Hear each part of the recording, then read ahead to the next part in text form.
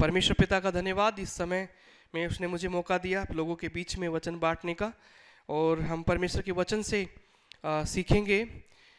प्रेरितों की पुस्तक उसका एक अध्याय से आगे तक मैंने लिया है चार अध्याय तक मैंने लिया है। और इसमें आ, हम सीखेंगे कि एक कलिशिया के तौर पर आ, हमारी सोच हमारे विचार ये होनी चाहिए। आ, हम बात बाकी बातें बहुत सी सोचते हैं हमारे जीवन के बारे में अपने करियर के बारे में बहुत सी चीज़ें सो सोचते हैं। लेकिन हमारे लिए ज़रूरी है कि हम ये भी सोचें कि हम सब मिलके एक कलिशिया हैं। हम विश्वासियों का समूह एक साथ मिलकर एक कलिशिया को जन्म देता है कलिशिया तैयार होता है। सो हमारी ज़िम्मेदारी ये भी है कि हम कलिशिया के बारे सो बारे में सोचें कि कलिशिया जिसका हिस्सा मैं हूँ, जिस कलिशिया में परमेश्वर ने मुझे रखा है, जिस कलिशिया में परमेश्वर ने मुझे स्थापित किया है, जिस कलिशिया में मैं मैं सीखता हूँ, उस कलिशिया की उन्नति के लिए मैं क्या कर सकता हूँ? उस कलिशिया को आगे बढ़ाने में मैं क्या योगदान दे सकता हूँ? हमें ये सोचने की ज़रूरत है। और आज इन्हीं बातों को हम परमेश्वर के वचन से सीखेंगे कि वो कौन सी बात हैं जिन्हें हम करके, जिनमें हम हिस्सा लेके परमेश्वर की जो कलेशिया है, उसको एक गति दे सकते हैं उसकी आत्मा की सहायता से। और कलेशिया होने के नाते उस योगदान का जो जो योगदान है वो हम सब एक एक मिलकर देंगे तब ऐसा संभव हो पाएगा।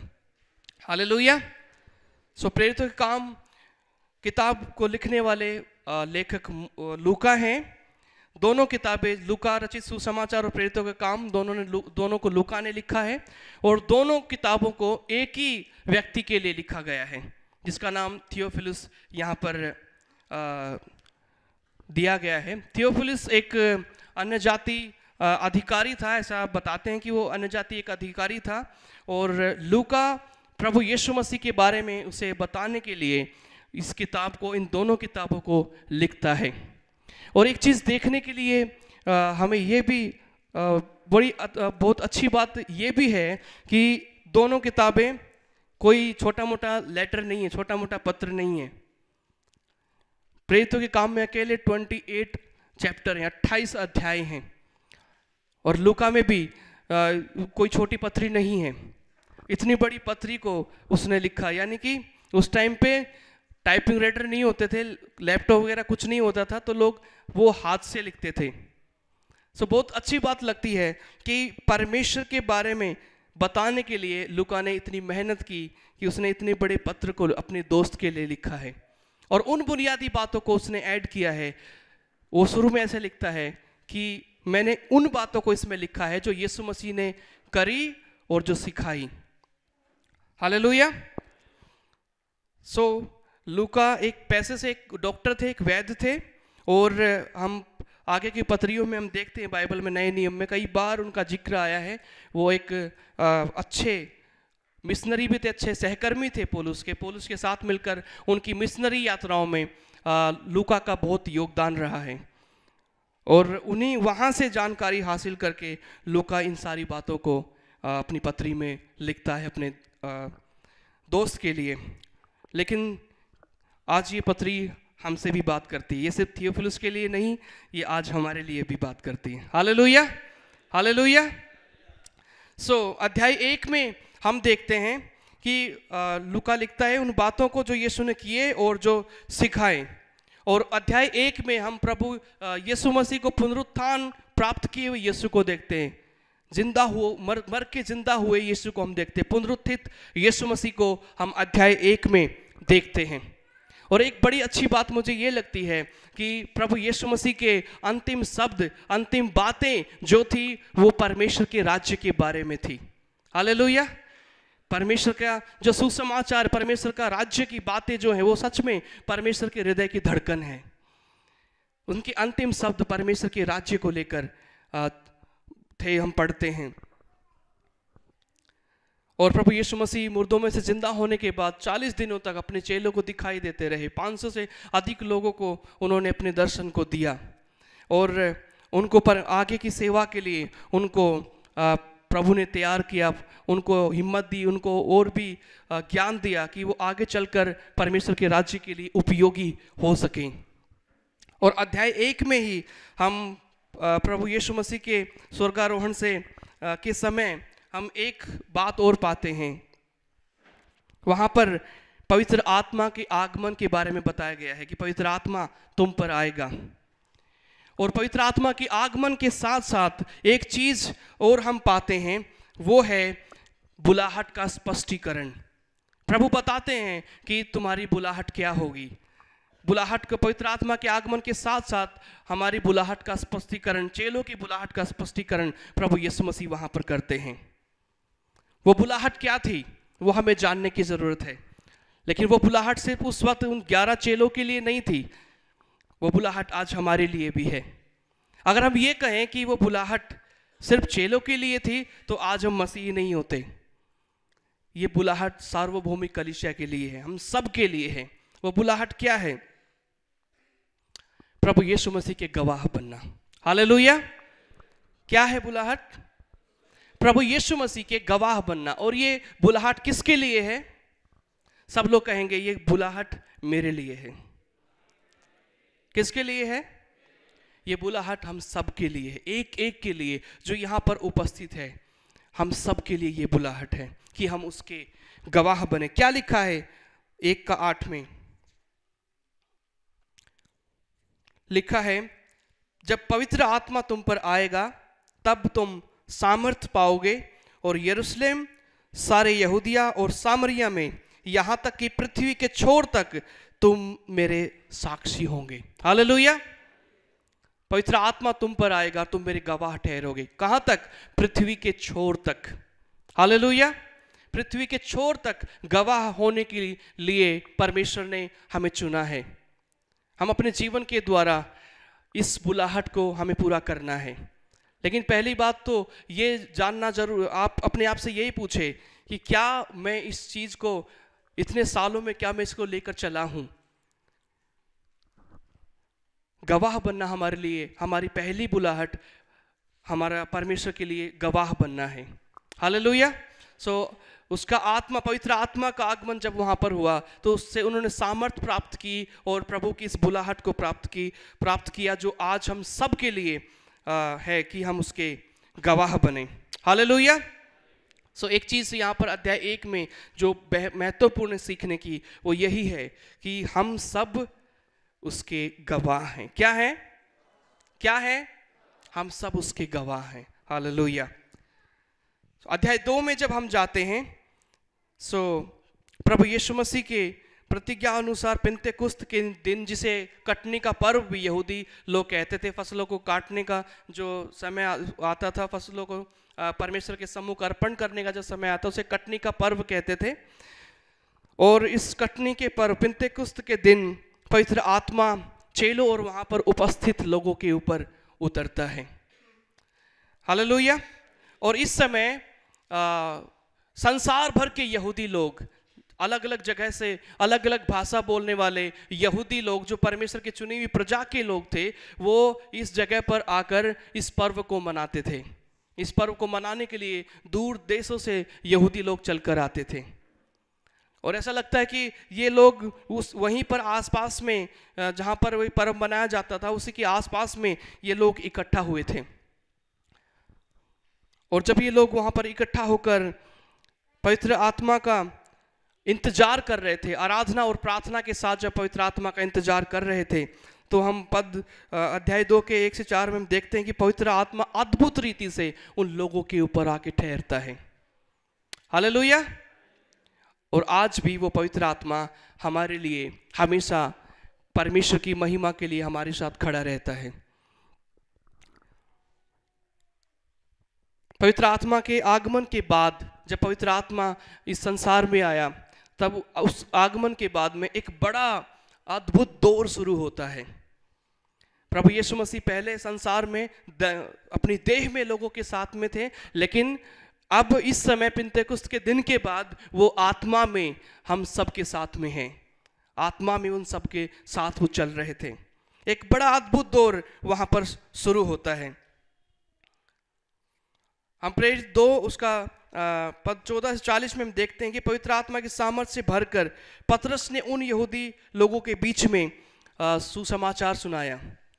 ये पतरस वही पतरस था जिसने प्रभु को तीन बार मना किया था। जब उसको महायाजक कैफा के घर में ले जाया गया था और जब किसी स्त्री ने उसे पहचान कर कहा कि तू भी तो इसके साथ में है तो उसने कहा था कि मैं नहीं जानता कि तू किसका ज़िक्र कर रही है, मैं नहीं जानता तू क्या बात कर रही है। ये वो पथरस है। जिसने तीन बार प्रभु का इनकार किया था। लेकिन आज यही पत्रस पिंतकुस के दिन यही पत्रस, जब पवित्र आत्मा का सामर्थ इसकी ज़िंदगी में उतरा, जब पवित्र आत्मा की अद्भुत उपस्थिति इसकी ज़िंदगी में आई, तब इसके अंदर का डर जो था, वो खत्म हो गया और ये उन कट्टर यहूदियों के बीच में खड़ा होकर प्रभु के सुसमाचार को सुनाता है। और आप जब पढ़ेंगे, उसमें बिल्कुल भी ऐसा नहीं है कि इसने ऐसे शब्दों का इस्तेमाल किया है इनडायरेक्टली बोला, नहीं। यू डायरेक्टली उनको बोलता है कि तुमने, तुम लोगों ने उस जगत के उद्धारकर्ता को क्रूज पर चढ़ा के मार डाला। और जब पवित्र आत्मा में होकर परमेश्वर के वचन को जब पत्रस वहाँ पर सुना रहा है तो आगे जब हम पढ़ते हैं, उसमें यह लिखा है, वो लोग वचन सुनकर उनके हृदय छिद गए। क्या सुनकर? वचन सुनकर उनके हृदय छिद गए। प्रिय कलिसिया, मैं आज मैं ये बताना चाहता हूँ कि वचन की सामर्थ्य आज भी वैसे ही काम करती है। आज भी परमेश्वर का वचन लोगों के हृदयों को छेदता है। लेकिन परमेश्वर का वचन बताने की ज़रूरत है। एक गवाह बन के उसके वचन को बताने की ज़रूरत है। जब वचन हमारे मुख से निकलता है, जब वचन हम पवित्र आत्मा के बीच एक में होकर बोलते हैं, तब लोगों के हृदय को छेदता है। यहाँ पर भी वही है। जब वचन उन्होंने सुना, उनके हृदय छिद गए और उन्होंने क्या कहा कि हम, अब हम क्या करें? देन वो उनको कहता कि, पश्चाताप करो। और मैं ये जानता हूँ कि तुम लोगों ने ये अज्ञानतावश किया है। जानबूझकर नहीं किया, लेकिन ये अज्ञानतावश किया और ये परमेश्वर की योजना अनुसार हुआ है, ताकि उसके बलिदान के द्वारा हम सब आज़ाद हो सके। उसने कहा कि, तुम पश्चाताप करो। और जब उसने सुसमाचार सुनाया, वचन सुनाया, वहाँ पर लिखा है कि उस दिन तीन हज़ार लोग उनमें मिल गए। हालेलुया। कितने लोग उनमें मिल गए? तीन हज़ार लोग वहाँ पर मिल गए। प्रारंभिक कलिशिया का ये अद्भुत दौर उस समय पवित्र आत्मा के बाद में आया। एक बार में परमेश्वर ने इतनी बड़ी कलिशिया को तैयार किया, उसके वचन की सामर्थ्य से। उसकी वचन की सामर्थ्य कैसे? क्योंकि उसके लिए वो गवाह बन के खड़े हुए थे। उसके लिए, उन्होंने, परमेश्वर के लिए उन्होंने अपने मुँह को खोला था। उन कट्टर लोगों के बीच में उन्होंने परमेश्वर के लिए अपने आप को खड़ा किया था। जब उन्होंने अपने मुँह को खोला, तब लोगों ने प्रभु को स्वीकार किया। हम कई बार अपने आप को रोक लेते हैं। सच बताइए, कितनी बार ऐसा होता है कि आप कहीं पर जा रहे हैं, या आप कहीं पर खड़े हैं या आप कहीं पर ट्रैवल कर रहे हैं तो आपके बगल में बैठे हुए व्यक्ति के लिए आपके मन में आता है कि मैं इसे सुसमाचार सुनाऊं? कितनी लोगों के मन में आता है? बहनों के मन में नहीं आता क्या? आता ये ये हमारे हृदय में होता है कि बोझ होता है कि मैं जाकर उसको सुसमाचार सुनाऊं। लेकिन हम अपने आप से ये पूछे, बोझ तो आया था सुनाने के लिए, लेकिन कितनी बार ये बोझ आने के बाद हमने लोगों को सुनाया वचन? पवित्र आत्मा की अगुवाई को हम इस प्रकार कई बार इग्नोर करते हैं। जब आपके मन में आ रहा है कि उसे वचन सुनाओ, तब हमें वचन सुनाना चाहिए। तब ये चिंता ना करें कि वो सामने वाला स्वीकार करेगा या ना करेगा। आगे का काम परमेश्वर का है। हमारा काम है बीज बोना, जो परमेश्वर ने आपको दिया है। जब आप वचन सुनाते हैं तो डेफिनेटली पवित्र आत्मा कार्य करता है। हालेलुया सो हमें गवाह के रूप में परमेश्वर के वचन को हमेशा बताना है। और जब हम बताते हैं सच में लोगों के हृदय में, जो लोग परमेश्वर के राज्य के लिए तैयार किए गए हैं, सच में वो परमेश्वर के भवन में आएँगे। हालेलुया और यहाँ पर जब पवित्र आत्मा से ये लोग भर जाते हैं, यहाँ पर एक प्रगतिशील कलिशिया का जन्म होता है। हालेलुया। प्रगतिशील मतलब एक लगातार बढ़ने वाली कलिशिया का जन्म होता है। एक ऐसी कलिशिया तैयार होती है जो लगातार उन्नति करती है। लगातार बढ़ते जाते हैं। एक प्रभावशाली कलिशिया का निर्माण हम यहाँ पर देखते हैं। लेकिन अब हमें यह सीखना है कि ये निरंतर बढ़ने वाली कलिशिया ये निरंतर उन्नति करने वाली कलिशिया कैसे तैयार हुई? इसके अंदर वो कौन से हिस्से थे जिनके द्वारा ये संभव हो पाया? और आज हम यहाँ से ये सीखेंगे कि आज मैं अपनी कलिशिया में उस कार्य को कैसे कर सकता हूँ, या कर रहा हूँ या नहीं कर रहा हूँ। एक प्रगतिशील कलिशिया में क्या चीज़ें होती हैं? कैसे ये कलिशिया तैयार हुआ? हम देखते हैं वचन में। कि संपूर्ण कलिशिया एक चित, एक मन थी। हालेलुया। कैसे थी? संपूर्ण कलिशिया एक मन थी, एक चीज़ उनका मन एक था। वो सब लोग एक साथ इकट्ठा होकर परमेश्वर की आराधना में एकता को दिखाते थे। परमेश्वर की बुलाहट के प्रति उनके, वो एक चित थे। परमेश्वर की सेवा को लेकर वो एक चित थे। उनका मन एक था। और ये बात बिल्कुल साफ़ है कि जहाँ पर एकता नहीं होती, जहाँ पर लोग एकचित नहीं होते, वहाँ पर पवित्र आत्मा का कार्य बिल्कुल नहीं होता। पवित्र आत्मा के कार्य को हम तभी देख सकते हम तभी देख सकते हैं जब हम एक चित होंगे, एक मन होंगे। जब हम प्रार्थना के लिए आते हैं, जब हम यहाँ पर इकट्ठा होते हैं, हम किस मन से आते हैं? हमें यह देखना है इस कलिशिया का जो दौर शुरू हुआ, वो उससे पहले ये वचन लिखा हुआ है कि वो एक चित थे, एक मन थे। एक चित होकर, एक मन होकर ये परमेश्वर के लिए करते थे। ये जो भी करते थे, एक मन होकर करते थे।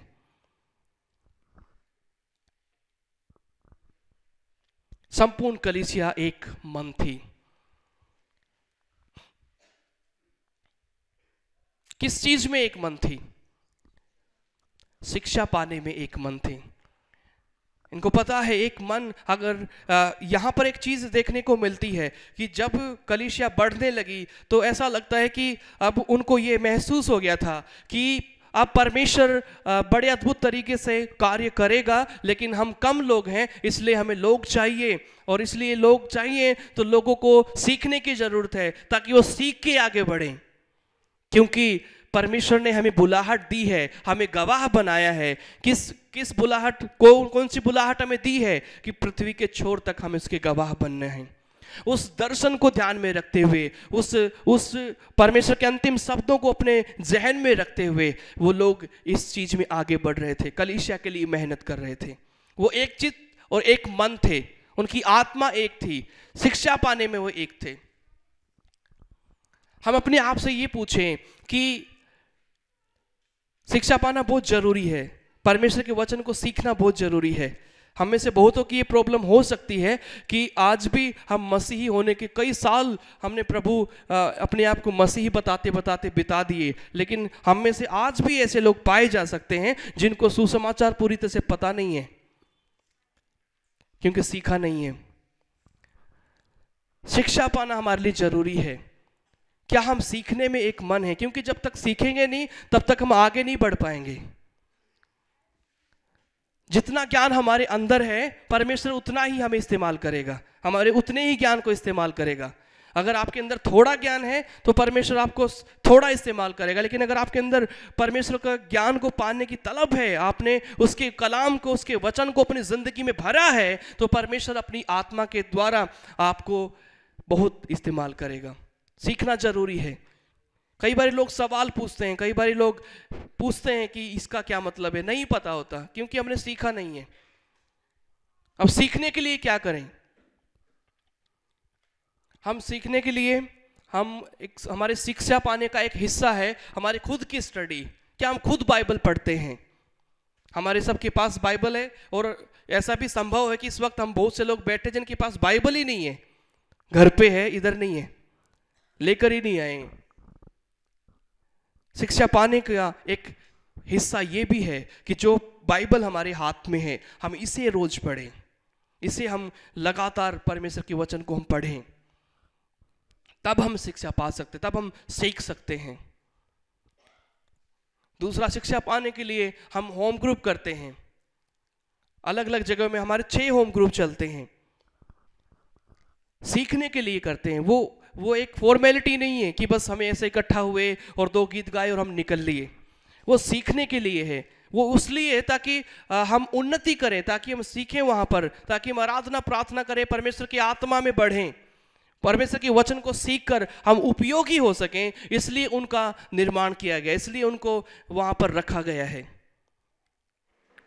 तो पहली बात तो हम ये पूछे अपने आप से, शिक्षा पाने के क्षेत्र में क्या हम खुद बाइबल पढ़ते हैं? कितना हम बाइबल पढ़ते हैं?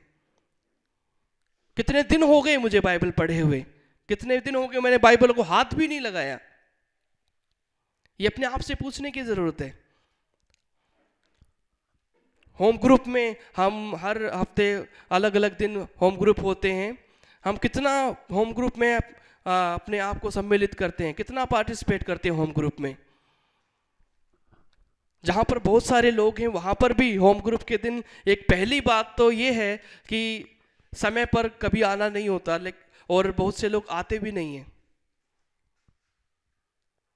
आपको ये पता होना चाहिए कि जो वहाँ पर होम ग्रुप जो हम कर रहे हैं, वो उसमें, वो आपके फ़ायदे के लिए है, वो आपके सीखने के लिए है, ताकि आप उससे सीखो, परमेश्वर के वचन को सीखो। कितना हम होम ग्रुप में हिस्सा लेते हैं? मैं हर बार जब जाता हूँ तो मैं पूछता हूँ लोगों से कि वो क्यों नहीं आया?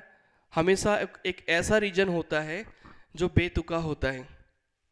जब हमें पता है कि उस दिन हम होम ग्रुप के लिए मिलने वाले हैं तो हम अपने काम काज पहले समाप्त कर सकते हैं। हफ़्ते में एक ही दिन मिलते हैं, एक घंटे के लिए मिलते हैं। लेकिन बहुत से लोग इसे इग्नोर करते हैं। इसमें आप लोगों का नुकसान है। एक कलिशिया होने के नाते आप लोगों का फ़र्ज़ ये बनता है, हम सब का फ़र्ज़ ये बनता है कि हम ये सोचे कि कलिशिया आगे कैसे बढ़ेगा कलिशिया उन्नति कैसे करेगा। और जब हम ये सोचना प्रारंभ करते हैं तो यही चीज़ें आती हैं। पहले तो हमें एक मन होना पड़ेगा देन हमें सीखना पड़ेगा। सीखने के लिए बाइबल पढ़नी पड़ेगी, होम ग्रुप भी हमें आना पड़ेगा, संडे को हमें यहाँ पर आना चाहिए। बाकी जो चीज़ें, उनका सहारा आप ले सकते हैं। दूसरा ये 243 में लिखा है, दो का तैतालीस में लिखा है, संगति रखनी और रोटी तोड़ने में। इसमें पढ़े दो का तैतालीस में क्या लिखा है? बयालीस सॉरी बयालीस। और वे प्रेरितों से लगातार शिक्षा पाने, संगति रखने, रोटी तोड़ने और प्रार्थना करने में क्या रहते थे? लोलीन रहते थे, मगन रहते थे। किन से शिक्षा पाने में? प्रेरितों से शिक्षा पाने में। किस चीज़ की शिक्षा पाने में? उसके वचन की शिक्षा पाने में। उस वक्त बाइबल भी नहीं थी। मौखिक तरीके का इस्तेमाल किया जाता था सिखाने के लिए। और लोग सीखने के लिए आते थे, इसमें लिखा है वो प्रेरितों से लगातार शिक्षा पाने में, संगति रखने में, रोटी तोड़ने और प्रार्थना करने में लोलीन रहते थे। हमने शिक्षा पाने के लिए क्या किया है? संगति रखने और रोटी तोड़ने, यहाँ पर संगति करना, एक साथ इकट्ठा होना, वही होम ग्रुप की बात और परमेश्वर के आराधना के लिए वैसे भी हम इकट्ठा होते, बुधवार को इकट्ठा होते हैं। बाइबल कहती है कि तुम इकट्ठा होना मत छोड़ो। संगति रखना, करना मत छोड़ो। कई बार हम बेतुके उनसे हम इनकार, इग्नोर करते हैं इन चीज़ों को। सच बात है ये। ऐसे हम ना तो हमारी उन्नति हो सकती है और ना ऐसे कलिशिया की उन्नति हो सकती है। हमें संगति रखना है। रोटी तोड़ने का मतलब यहाँ पर प्रभु भोज के बारे में बात भी किया जाता है। और उस समय में ऐसा होता था कि जब लोग इकट्ठा होते थे तो वो एक साथ खाना भी खाते थे। अब लोग वो लोग, अब बहुत से लोग कह सकते हैं कि हम भी संगति करते हैं। अपने लोगों घरों को, घरों पे लोगों को बुलाते हैं एक साथ खाना खाते हैं। सिर्फ़ खाना खाना ही संगति नहीं है। आपने उस वक्त परमेश्वर के बारे में क्या बातचीत की? आपने परमेश्वर के वचन के बारे में क्या बातचीत की? आत्मिक ज़िंदगी को लेकर आपने क्या बातचीत की? वो है संगति। खाना पीना हमारी प्राथमिकता नहीं होना चाहिए संगति में। वचन कहता है, जब तुम एक दूसरे से मिलते हो तो ऐसी बातें क्या करो जिससे एक दूसरे की उन्नति हो? कैसी बातें हम करते हैं? वो प्रार्थना करने में लोलीन रहते थे। हालेलुया। मग्न रहते थे। खोए रहते। प्रभु के प्रेम में वो पागल थे। संगति शिक्षा पाने में, संगति रखने और रोटी तोड़ने में और प्रार्थना करने में वो लोलीन थे। ये वो चीज़ें थी। पहला तो वो एक मन थे। शिक्षा पाने में, संगति रखने और रोटी और तोड़ने और प्रार्थना करने में वो एक मन थे। क्या हम इन चीज़ों को लेकर हमारा मन एक है? क्या इन चीज़ों को लेकर हम सहमत हैं कि नहीं है कि हमें ये करना ज़रूरी है? एक कलिशिया होने के नाते जब हम सब मिलकर ये काम करेंगे, ये तीन चीज़ें अपनी ज़िंदगी में रखेंगे, तब एक कलिशिया को एक नई गति मिलती है। हालेलुया। कलिशिया को बढ़ाने की ज़िम्मेदारी सिर्फ़ एक पास्टर की नहीं होती। पास्टर का काम है आप लोगों को सिखाना। कलिशिया की उन्नति के लिए मेहनत तो हम सबको करनी पड़ेगी। एक एक को करनी पड़ेगी। जितने यहाँ पर उपस्थित है, आपको अपना अपना योगदान देना ही पड़ेगा। जब हम एक साथ मिलकर कलिशिया की उन्नति के लिए योगदान देते हैं, तब एक कलिशिया को एक नई दिशा मिलती है। एक एक प्रगतिशील कलिशिया एक निरंतर उन्नति करने वाला कलिशिया तैयार होता है। हम हमेशा प्रार्थना करते हैं, यहाँ पर प्रार्थना करते हैं, परमेश्वर, हमारे कलिशिया को बढ़ा परमेश्वर अपने, हमारे कलिशिया को उन्नति दे, इनको आगे बढ़ा, इन्हें बुद्धि दे, समझ दे, ज्ञान दे। हम सिर्फ़ प्रार्थना करते रहते हैं। जो हम प्रार्थना करते हैं, हमारे लिए ज़रूरी है कि हम उसके लिए खुद भी कदम उठाएँ। प्रार्थना, खाली प्रार्थना करने से कुछ नहीं होने वाला। घर पे बैठ कर सिर्फ़ प्रार्थना करो, कुछ नहीं होने वाला। जब तक आप प्रार्थना के साथ साथ अपने आप को उस कार्य में डालेंगे नहीं, जब तक आप अपना कदम नहीं उठाएँगे, जब तक आप अपने अपने आप को बाहर लेकर नहीं जाएँगे, जब तक आप मेहनत नहीं करेंगे, तब तक प्रार्थना भी किसी काम नहीं आएगी। प्रार्थना और मेहनत एक साथ चलती हैं। जब आप मेहनत करते हैं, तब परमेश्वर का आत्मा हमारी ज़िंदगी में कार्य करता है। जब हम मेहनत करते हैं, तब प्रार्थना रंग लेकर आती है। वरना हम सिर्फ़ करते रहे प्रार्थना। कुछ नहीं होगा। ये लोग मेहनत कर रहे थे, सीखने की मेहनत कर रहे थे। घर घर जाकर रोटी तोड़ने की घर घर जाकर संगति करने की घर घर जाकर सुसमाचार सुनाने की मेहनत कर रहे थे। हम क्या कर रहे हैं? अपनी कलिशिया को एक नई दिशा देने के लिए। क्या हमने कभी सोचा भी है कि हमें अपनी कलिशिया को आगे बढ़ाने के लिए क्या करना चाहिए? हम सबका योगदान लगेगा कलिशिया को आगे बढ़ाने में। इसलिए हम सबको अपने आप को सम्मिलित करना पड़ेगा। इसमें कोई शक नहीं है। सिर्फ़ प्रार्थनाओं में आकर यहाँ पर उपस्थित होने से भी कुछ नहीं होने वाला। यहाँ पर जो आप प्रार्थना करते उसे अपने जहन में रखकर उसके लिए मेहनत करना भी हमारे लिए ज़रूरी है।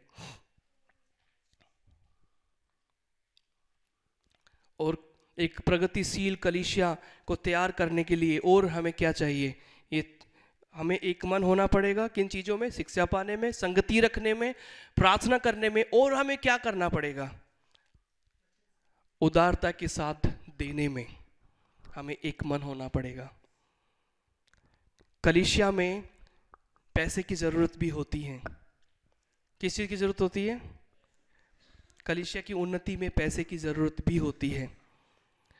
हम जितने प्रोग्राम्स करते हैं कल क्रिसमस कर, का प्रोग्राम होता है हमारा तीन दिन का पहले का प्रोग्राम होता है बाकी चीज़ें हम बहुत सारी चीज़ें करते हैं। कलिशिया की भौतिक ज़रूरतें भी हैं और वो भौतिक ज़रूरत तब पूरी होंगी जब हम अपनी जेब से देंगे। एक प्रगतिशील कलिशिया तैयार करने के लिए एक कलिशिया को नई दिशा एक उन्नति सी करने वाली कलिशिया तब तैयार होती है जब हम अपने उदारता के साथ हम देते हैं। हमें अपने आप से आज ये भी पूछना है कि क्या मैं परमेश्वर के राज्य के लिए देता हूँ? पुराने नियम के टाइम पे जो यहूदी लोग हुआ करते थे वो 23-24 परसेंट अपनी कमाई का देते थे। लेकिन आ, बाइबल हम हमें दसवांश देने के बारे में बात करती है। क्या हम अपना दसवांश ईमानदारी के साथ देते हैं? हमारी कमाई कमाई का दसवां हिस्सा क्या हम परमेश्वर के राज्य के लिए डालते हैं? परमेश्वर के भवन की जरूरतों को पूरा होने के लिए डालते हैं।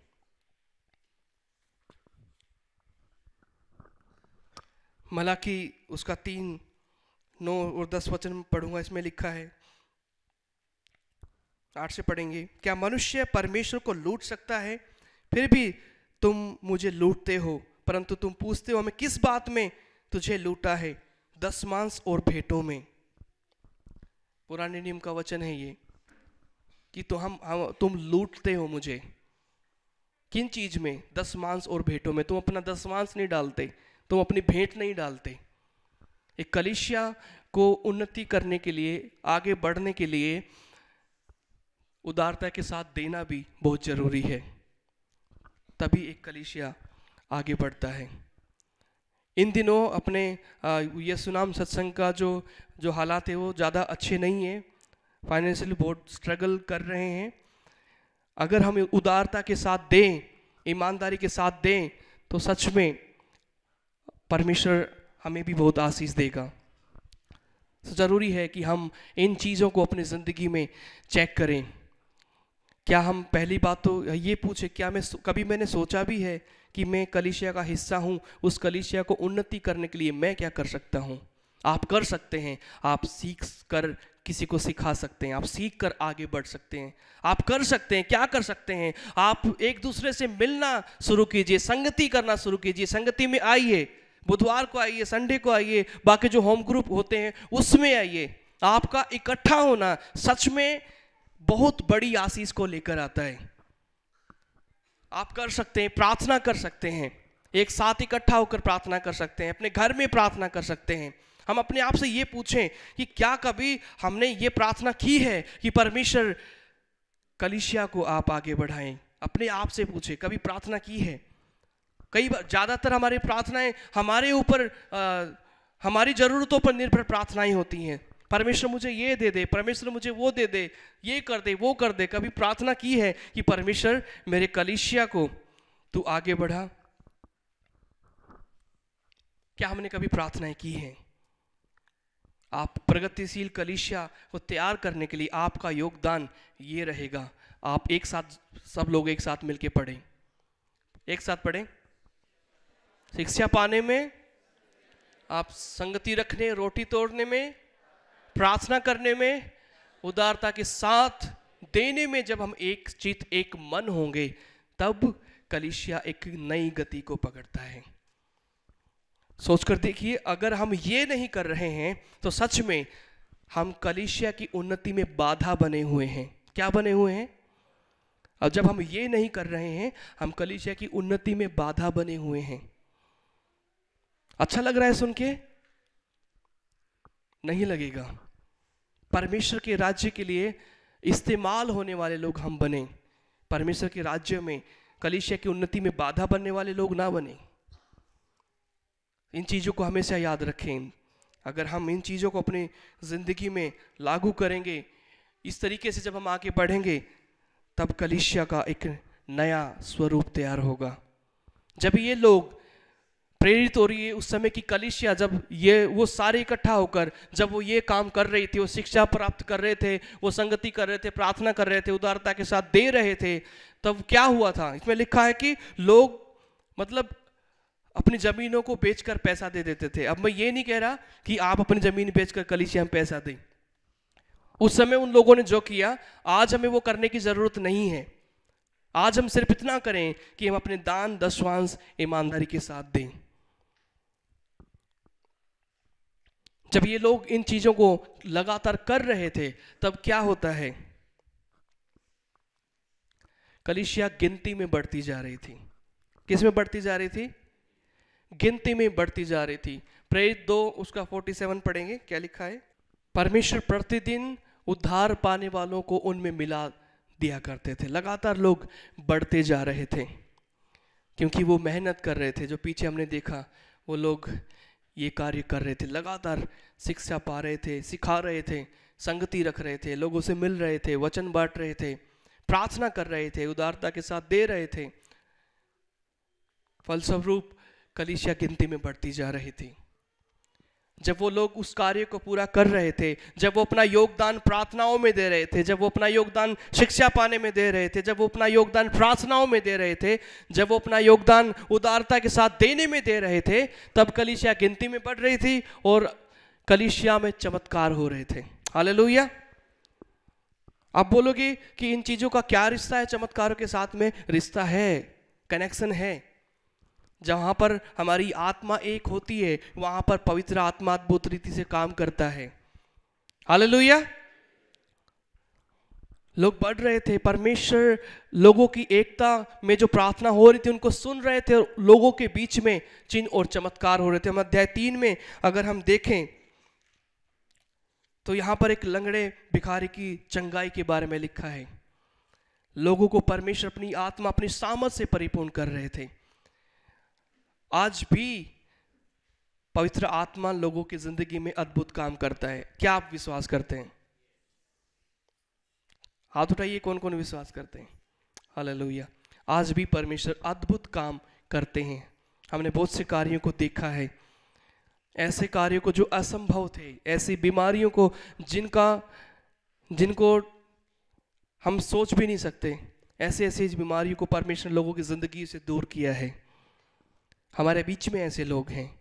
आज भी अद्भुत काम करता है। जब हम एक होकर प्रार्थना करते हैं, जब हम एक होकर परमेश्वर के सम्मुख इकट्ठा होते हैं, तब परमेश्वर इस रीति से अद्भुत काम करता है। उनके बीच में चमत्कार हो रहे थे। क्या आपने कभी प्रार्थना की, प्रभु कलिशय में चमत्कार होने पाए, अद्भुत कार्य होने पाए चमत्कार थोड़ा सा अजीब शब्द है ये। अद्भुत काम अच्छा शब्द है। कलिशिया सताव के मध्य स्थिर रहती है। प्रेरितों के काम उसका अध्याय चार में जब हम पढ़ते हैं, चार का एक में लिखा है, जब वे लोगों से बात कर रहे थे तो याजक मंदिर के सिपाहियों का कप्तान तथा सदुकी उसके पास आए और इस बात से अत्यंत क्रोधित थे कि वे लोगों को उपदेश दे रहे हैं और यीशु का उदाहरण देकर मृतकों के पुनरुत्थान का प्रचार कर रहे हैं। जब प्रेरित लोग लोगों के बीच में सुसमाचार सुना रहे थे, तब लोगों ने आकर उनको डांटा, लोग उन पर क्रोधित हुए। एक चीज़ हम यहाँ पर ये सीखते हैं कि कलिशिया पर सताव कभी कम नहीं होगा, सताव हमेशा आएगा। कलिशिया के ऊपर दुख संकट कम नहीं होंगे। हमें सताव का सामना कभी भी करना पड़ सकता है। और आप करते होंगे।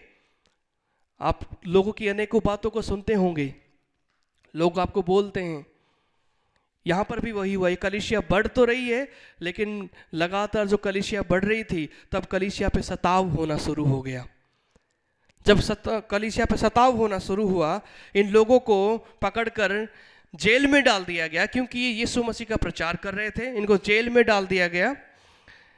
और जब कलिशिया के ऊपर सताव आया तो ये कलिशिया के लोग क्या कर रहे थे? फोर का ट्वेंटी थ्री, चार का तेईस पढ़ेंगे। उनको जेल में डाल दिया गया था, लेकिन तीस, तेईस में लिखा है, जब उन्हें वहाँ से छोड़ दिया गया तो वे अपने साथियों के पास आए और जो कुछ याजकों और प्राचीनों ने उनसे कहा था, उनको सुना दिया। उनके ऊपर सता हुआ तो उन्होंने कलीसिया के सम्मुख आकर कहा कि हमारे साथ ये घटना घटी है। लोग विरोध कर रहे हैं। जब कलिशिया के ऊपर सताव आता, जब विरोध आता है, तब कलिशिया को कलिशिया क्या करती है? जब इन्होंने बताया, इसमें लिखा है, चौबीस में लिखा है, चार के चौबीस में, जब उन्होंने सुना तो वो एक चित होकर ऊँचे शब्द से परमेश्वर को पुकारा। हालेलुया। जब उन्होंने सुना कि सताव हो रहा है, उस सताव की परिस्थिति में और ये सताव करने वाले कोई मामूली लोग नहीं थे, ये उस समय के बड़े बड़े राजनेता थे, जो इनको सता रहे थे। जब सताव हुआ तो ये लोग फिर से यहाँ पर एक शब्द आया है, वो एक चित होकर, कैसे? एक चित होकर उन्होंने परमेश्वर को पुकारा। हालेलुया! हालेलुया! और आगे हम जब पढ़ते हैं, यहाँ पर लिखा है कि प्रेरित लोग और भी जोश और जुनून के साथ परमेश्वर का वचन सुनाने लगे। हालेलुया।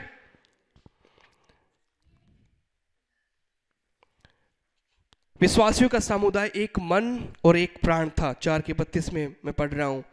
उनमें से कोई भी अपनी संपत्ति को अपनी नहीं कहता था, परंतु उनका सब कुछ साझे का था और प्रेरित बड़ी सामर्थ के साथ प्रभु यीशु के पुनरुत्थान की साक्षी देते थे और उन पर बड़ा अनुग्रह था। हालेलुया।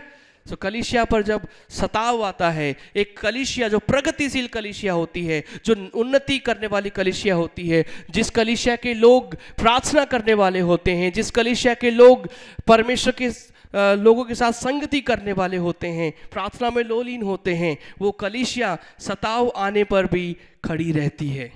हालेलुया। एक होने की ज़रूरत है।